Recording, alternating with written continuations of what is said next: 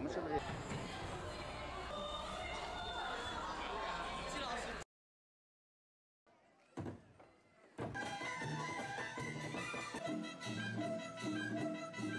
我们一起体验了非遗，就是让我们祖国大陆和台湾同胞之间的心灵更加相近、更加相通了。希望可以透过传统的技艺跟传统音乐去做这个交流，让我们两岸一家亲，透过这种交流方式，然后继续传承下去。